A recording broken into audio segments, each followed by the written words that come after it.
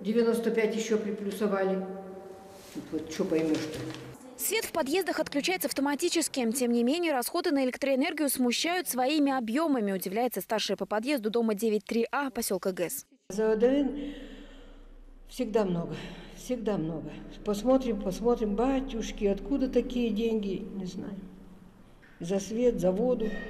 Еще прибавляют по кубу воды каждый месяц. На каком основании? Заподозрив, что суммы в графе УДН необоснованно завышены, люди обратились в жилинспекцию. Ее сотрудники выяснили, управляющая компания незаконно перераспределяла объем общедомовых нужд с октября 2014 года. По словам специалистов, ОДН сверхнорматива должна оплачивать обслуживающая организация. Правда, в том случае, если жители не примут решение на общем собрании о перераспределении этой величины на всех. Управляющая компания «Жилкомсервис» в отсутствии протокола общего собрания распределяла всю величину расходов на общедомовые нужды на собственников выше, чем величина на общедомовые нужды, которая должна была начисляться по нормативу.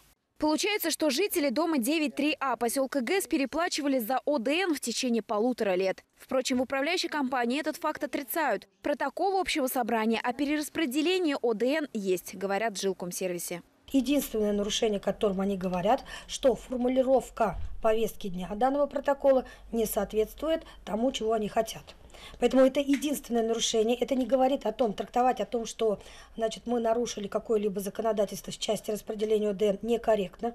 Жилинспекция предписала управляющей компании устранить нарушение. Сделано этого не было. Поэтому жилкомсервис привлекли к административной ответственности. Мировой суд постановил наложить на управляющую компанию штраф в размере 200 тысяч рублей.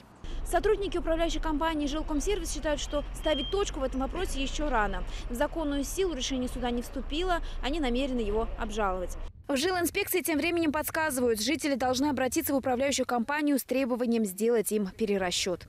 Эльвира Ермакова, Алексей Шутунов, Эфир 24. Рэй Донован.